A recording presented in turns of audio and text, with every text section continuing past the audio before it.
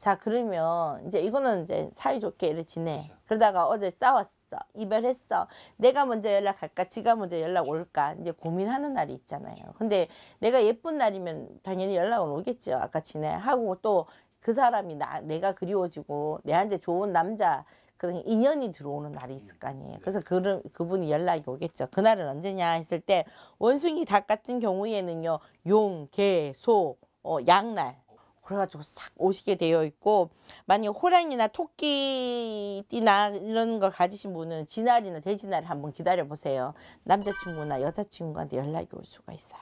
그러면 용계 소양 양인 분은 언제 연락이 올 수 있냐면 말이나 뱀날 말이나 뱀날 되면 전화가 올 수 있어요. 자 그리고 진화 돼지 같은 분들은 닭이나 원숭이 날 미팅이나 아니면 그 남자친구나 이렇게 건수가 생길 수 있거든요. 그 남자친구가 뭐 하는데 하고 카톡이 띵 하고 올 수 있는 날이에요. 그러니까 그날 좀 예쁘게 하고 기다려 보시는 것도 괜찮아요. 바로 나가야 되니까. 또 그다음에 말이나 뱀 같은 경우에는 호랑이나 토끼 날 되면 좋은 소식이 올 수 있다. 그럼 그날 조금 기다려 보시는 것도 좋을 것 같아요.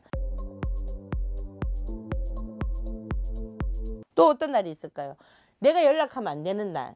어, 그 사람은 나하고 충이 나거나 내 기운이 조금 안 좋은 날. 그 다음에 사고수라고 해요. 그런 사고수가 있는 날이 있어요. 그럼 그 날은 조심해야 된다. 누구?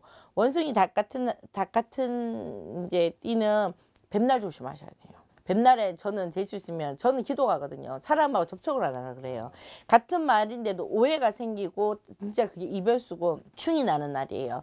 그러니까 원숭이나 닭 같은 띠를 가지신 분은 뱀날을 조심해야 되고요. 호랑이나 토끼는 닭날 조심하셔야 되고요.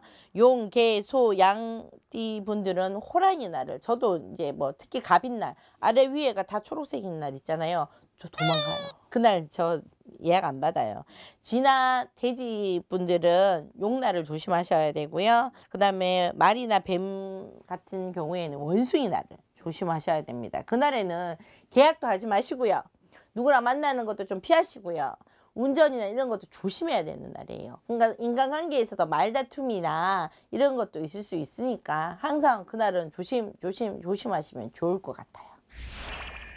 자 그러면 뭐 도움이 되실지 안 되실지는 잘 모르겠지만 그래도 제가 조그만 지식이라도 같이 나누고자 해서 드리는 말씀이니까 나쁘다 좋다 댓글 마시고요.